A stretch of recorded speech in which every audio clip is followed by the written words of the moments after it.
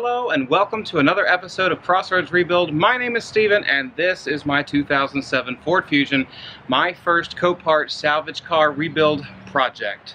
Today we're going to go ahead and put on the rest of the front end of this car, well most of it anyway. I'm going to put the fenders and the bumper on, hood's already on, going to make sure everything fits up nicely uh, and is uh, playing nice and there's nothing else that's still bent from the accident. Then I'm going to try to fix um, a ding or two in the hood as well as the, uh, the front bumper has a, a, few little gouges on it. And once all of that's done and I'm satisfied that everything's fitting well, then it is ready for paint. So let's go ahead and get started.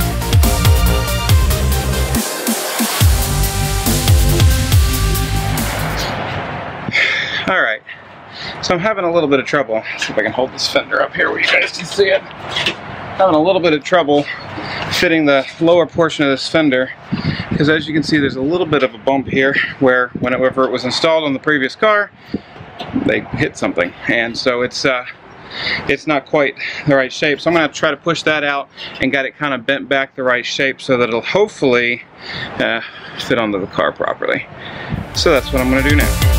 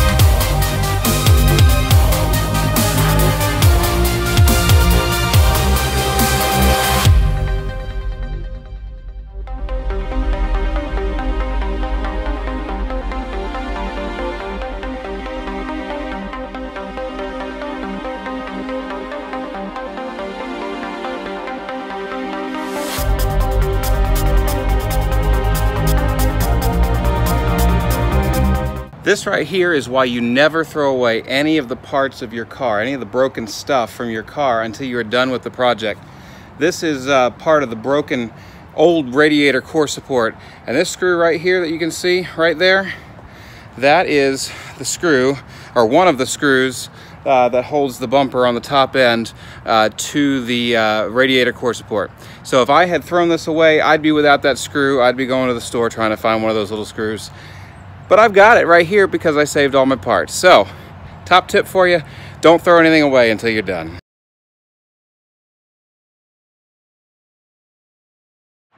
Okay, it's a different day, a much colder day. Uh, the other day when I was working out here on the Fusion, it was almost 75 degrees, and it's a whole lot colder than that now. It's starting to feel like a normal February day again.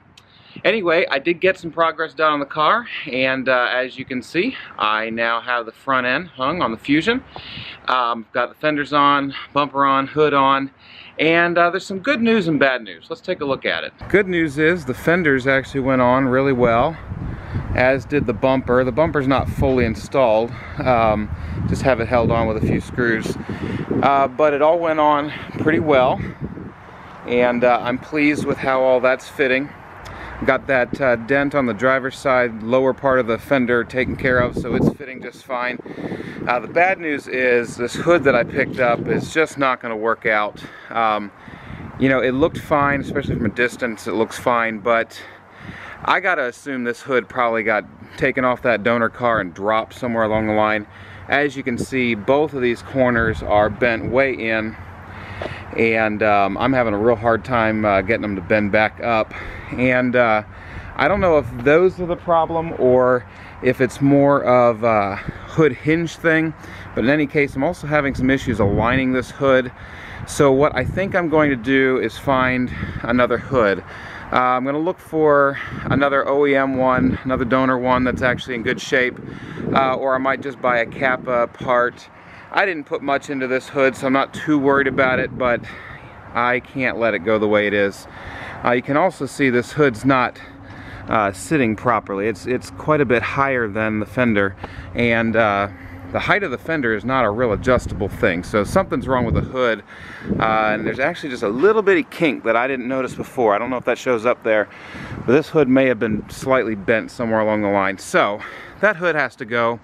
So I'm on the hunt for one of those. Uh, but the bumper is going to work out pretty well for me. It's kind of dirty. As you can see up front here, there's some scuffing uh, along the front. So I'll sand that down, maybe put a little filler on it, and then uh, that will uh, look great once it's repainted. So good news and bad news. Fenders are in good shape. Um, bumper's in good shape. The hood, I need to source a new one. But we made some progress. Let's go ahead and take a look at the BMW now.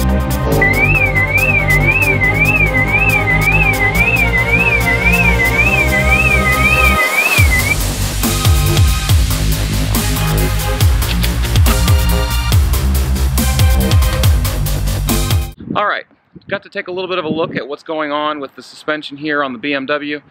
Um, and actually, I think we got really lucky. The, the suspension is not too bad.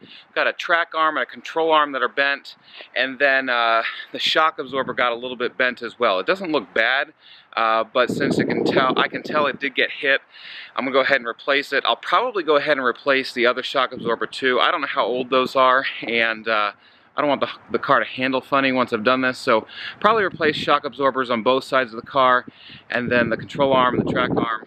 And I think, crossing my fingers, but I think that's all it's going to take to get the suspension taken care of. And uh, at that point, I'll be able to drive the car. So that's awesome. I also got to talk to my friend at the uh, frame shop, the guy who owns the frame shop. He came and took a quick look at it, and uh, it's a little unclear exactly what it's going to take to fix that.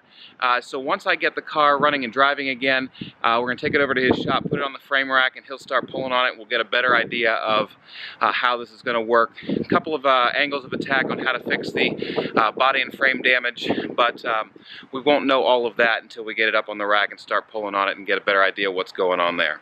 So looking forward to getting started on the BMW here pretty soon as well. Alright guys, that's going to be it for this episode. I'm sorry I didn't get as much done uh, in this episode as I wanted to. Really had hoped to uh, get quite a bit done on the Fusion. I wanted to get the headlights installed, get the painting going, um, but it's just kind of been one hurdle after another. Sounds like excuses, I know, but uh, but when you're rebuilding wrecked cars, you know, sometimes that's how it goes. I'm also new at this, I'm learning as I go, so I'm sure I'll get faster as I work on more cars, uh, but for now, progress is progress, and I'm happy with that. In the next episode, hopefully I'll have a new hood and also some paint uh, going onto the Fusion. Should also have an episode coming out soon on getting the BMW uh, rolling, get it, getting the uh, suspension taken care of and getting it driving. So look forward to both of those, hopefully coming real soon. Thank you so much for joining me for another episode of Crossroads Rebuild. If this is your first time watching, thank you for coming to the channel and thank you for watching. If you haven't subscribed already, why don't you go ahead and do that now and then hit that little bell notification icon, then you'll be notified each time I upload a new video. Thank you for watching. Check back soon. We'll see you then.